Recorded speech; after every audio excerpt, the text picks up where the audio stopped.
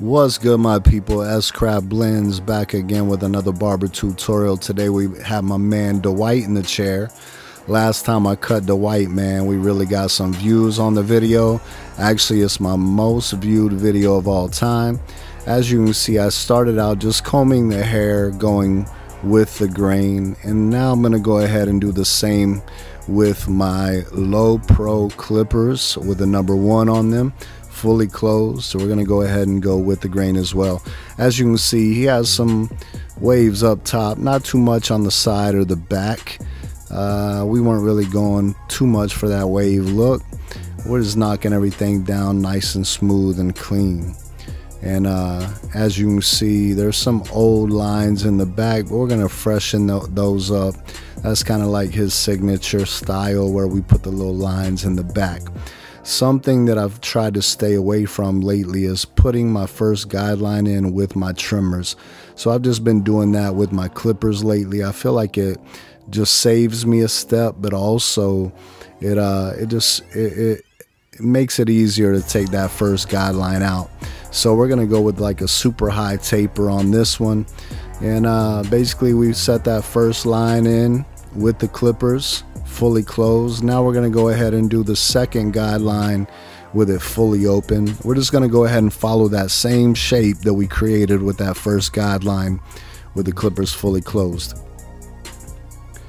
And as you can see, it's pretty much blended between the first and, you know, between the first guideline and second guideline. However, we'll come back in and touch that up a little bit later. Now I'm going to come in with my number one guard and I'm going to create that third guideline and I have my my clipper halfway open and that's something I've been doing a lot lately. I haven't been opening it or closing it except for really on that first, you know, and second guideline.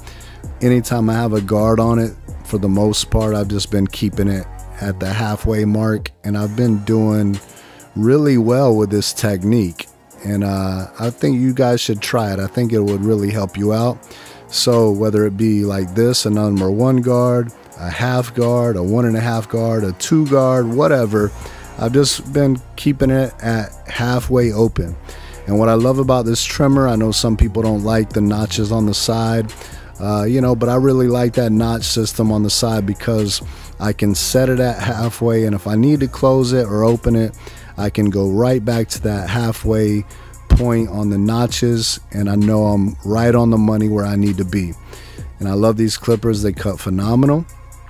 I would use the trimmers in this video, however, right before this video I dropped them and I guess I got to replace the blade or something.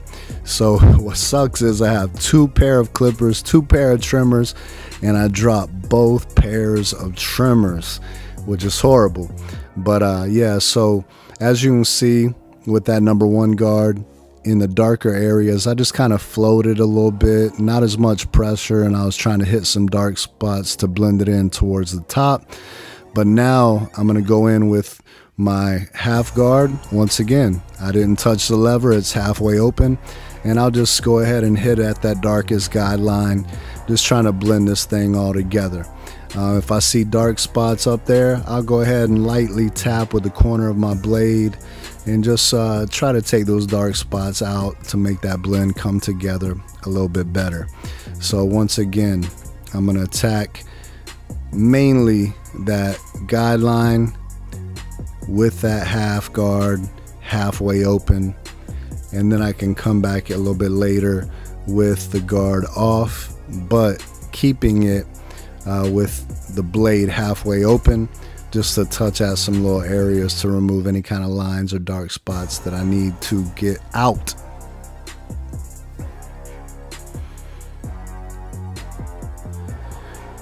As usual, I just kind of go through the system quickly. I always come back at the end to do my detail work, but I'm going to go ahead and use my uh, Andis T outliners and just kind of clean up that bald area and then we'll hit it with the shaver. And you'll see me switch between my original Andis T outliners, uh, cordless T outliners that I had modified black and then you'll see me use my new uh, GTX outliners like I'm using right now.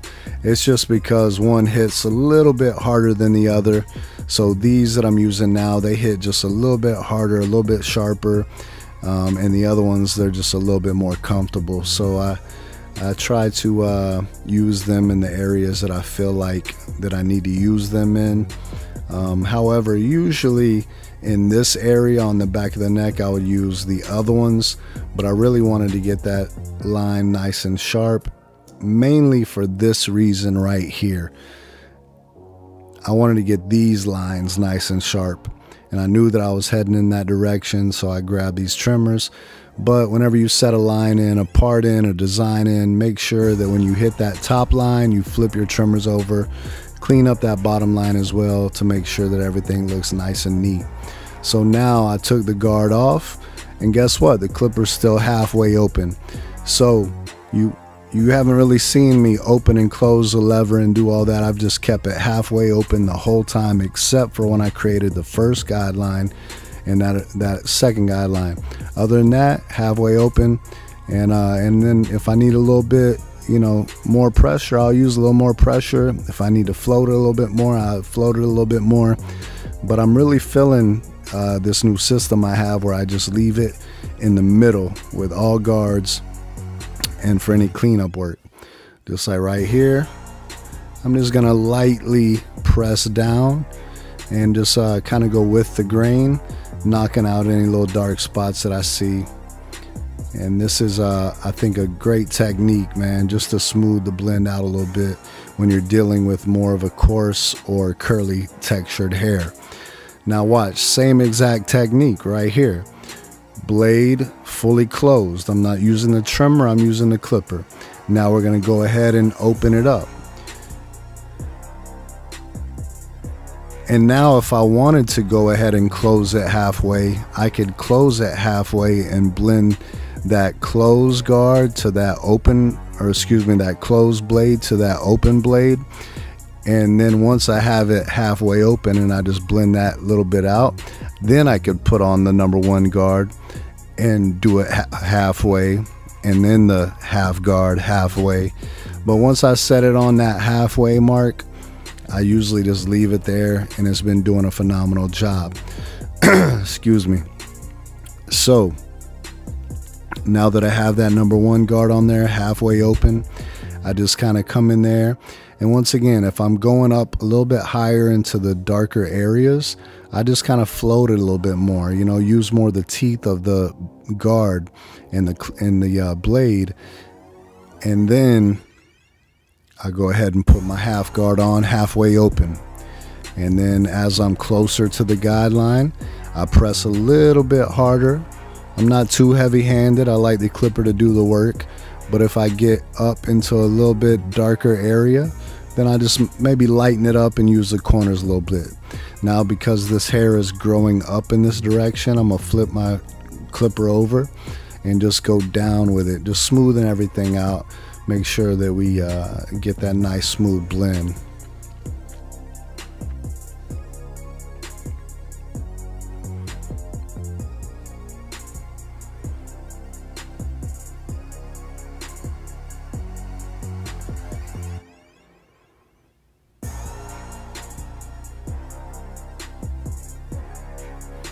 As you can see with detail work, I just use a lot of the corner of the blade.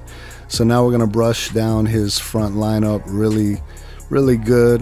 And then we're just gonna go ahead and start in the middle and work our way out to the corners, getting the straightest line possible. And I'm not getting it too, too crispy right now because I know I'm gonna have to hit it again once I put my uh, color and fibers on there.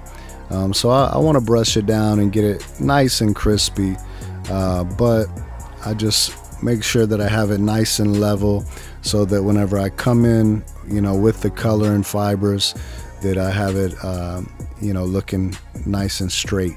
So now we're gonna come in, hit them up with the, the color, and then we'll hit them up with the fibers and obviously I put some hairspray on it first and then I hit them with the fibers then I put some hairspray again and then I just go ahead and and hit them with the blow dryer the reason I like to do hairspray fibers hairspray with the blow dryer is because it gives it that sandwich effect. It's really going to hold those fibers in for as long as possible.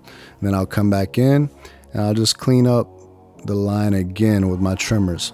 So now switching back to my original cordless uh, T outliners, uh, I'm gonna work around that the lip area on this mustache. Um, you know, just because once again, these I have these set for more sensitive skin. So if I'm gonna be around that lip area, that's that's why I switched to that trimmer. And we're just gonna go ahead and line this thing up.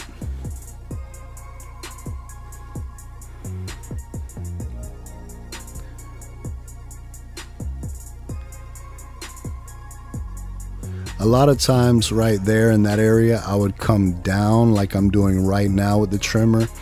But if I do just hit it straight on, like from this angle, if I was just to hit it straight on that side part of the beard I was doing a little bit ago, I just make sure I go up just a little bit uh, to make sure that bottom cutting blade isn't cutting my beard line lower than I want it to be.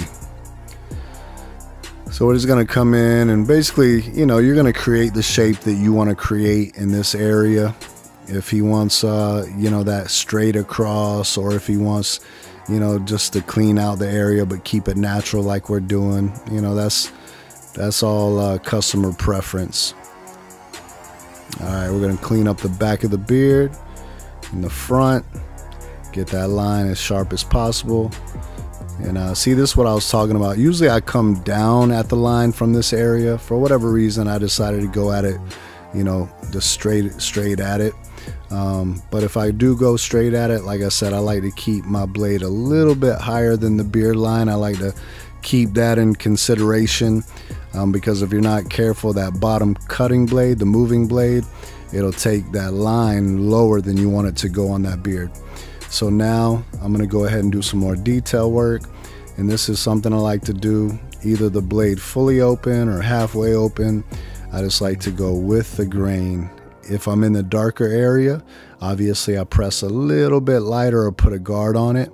Um, as I get closer toward the balder area, then I'll give it a little bit more pressure. And then once again, we come back and make sure that our lines are crispy.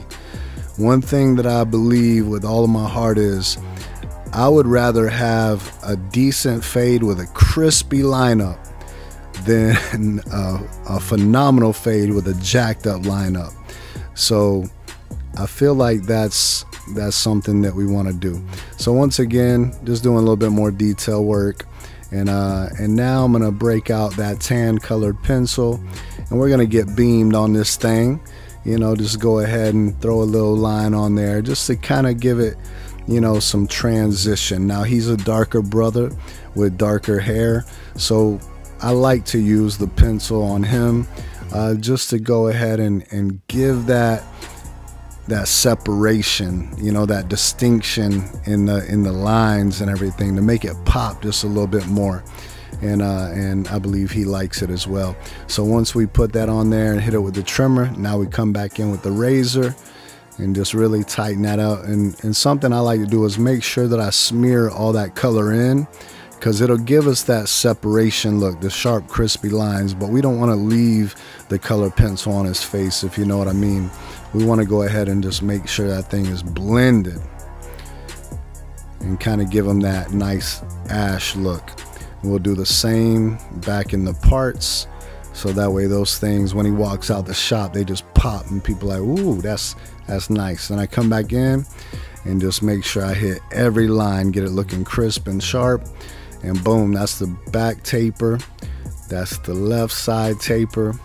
Then I'll show you the front and the side, the right side. There it is. That's the cut. I hope you guys enjoyed this video and hopefully you got something out of it.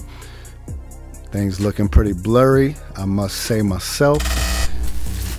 But until next time, hey, God bless you guys. If you're not following me on Instagram, please do that at s period craft underscore blends. Peace. I'm out of here.